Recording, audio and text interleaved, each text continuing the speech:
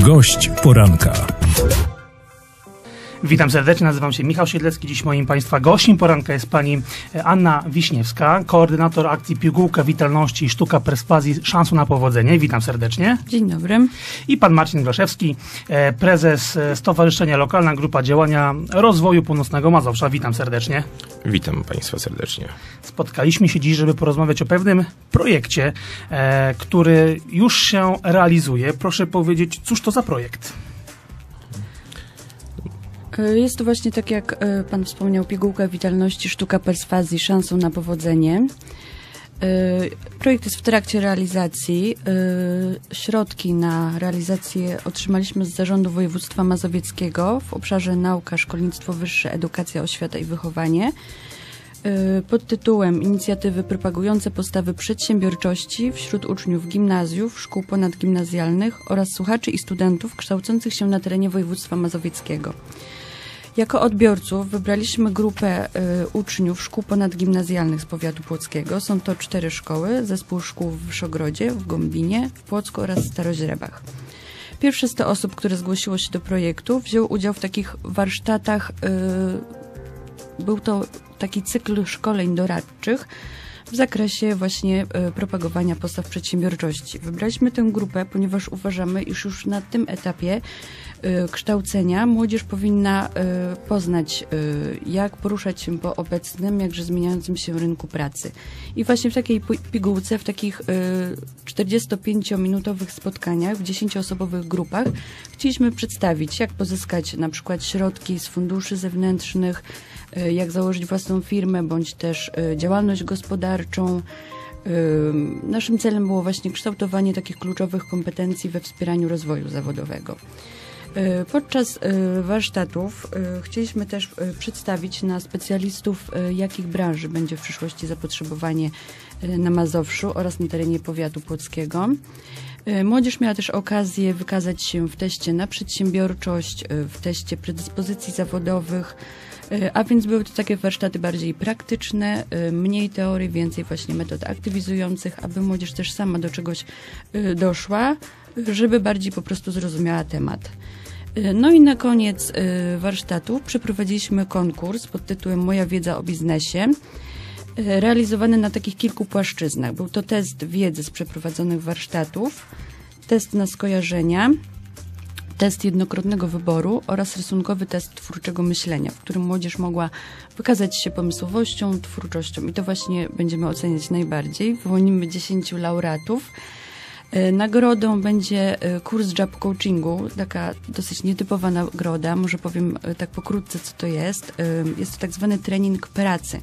Czyli w job coachingu sukcesem nie jest nauka osoby, jak poruszać się po rynku pracy, co my przedstawiliśmy na swoich warsztatach, tylko bardziej jak utrzymać się w firmie pracownika, która go zatrudniła, tak? Bądź też jak osiągnąć sukces w firmie, bądź awansować, czy też nawiązywać dobre relacje z kierownictwem, z współpracownikami.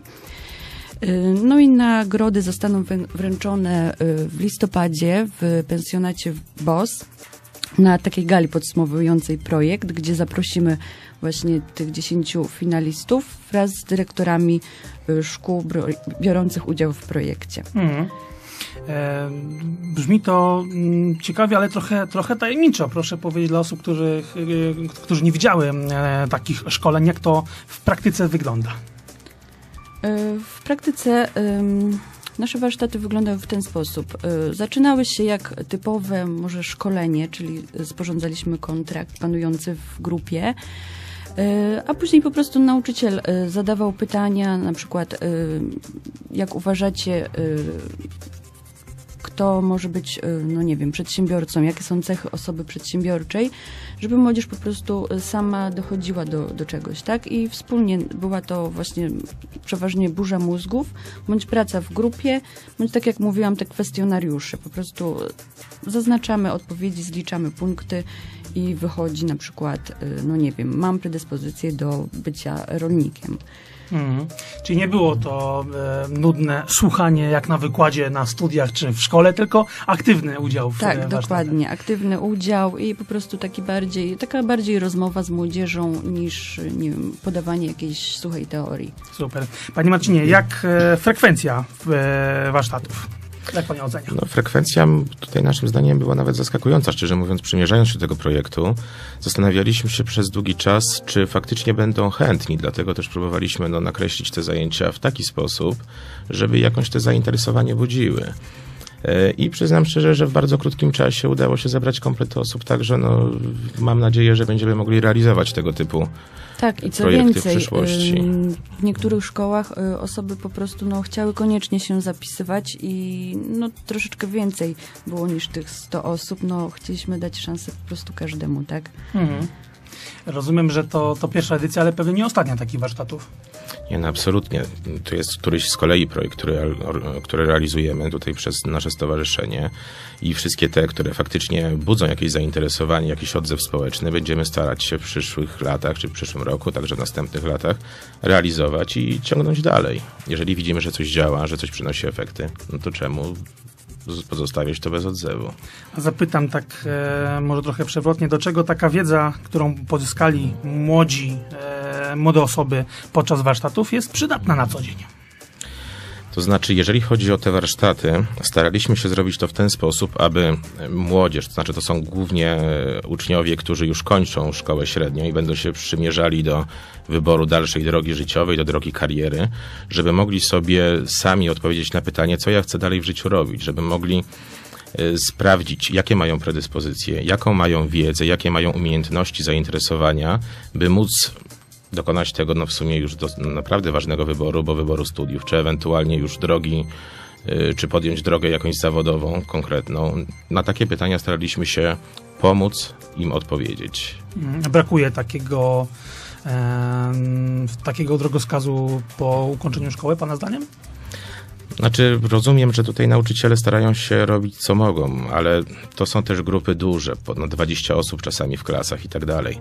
E, także często jest w ten sposób, że te rygory, wymagania systemu edukacyjnego są takie, a nie inne. To znaczy, to jest e, no, bardzo często jakaś taka, no już tak kolokwialnie mówiąc, sklepanina po prostu pewnych formułek i tak dalej, e, gdzie niekoniecznie daje to możliwość odkryć się poszczególnemu, no, poszczególnym młodym ludziom, odkryć te swoje zainteresowania, swoje predyspozycje, a raczej daje im wiedzę jakąś teoretyczną i w efekcie tego wychodzi w ten sposób. W efekcie tego jest coś takiego, że człowiek, który kończy taką szkołę średnią, w rzeczywistości nie wie, co ma dalej ze sobą zrobić, bo nie wie, czy ma iść na takie studia, czy na takie, czy ewentualnie rozpocząć jakąś pracę i tak można powiedzieć, że pozostaje samym sobie. Dlatego staraliśmy się no, zrobić pewien krok, aby pomóc w ten sposób tym ludziom. I tu postawmy kropkę. Dziękuję bardzo za rozmowę. Dziękujemy, Dziękujemy. bardzo. Gość poranka.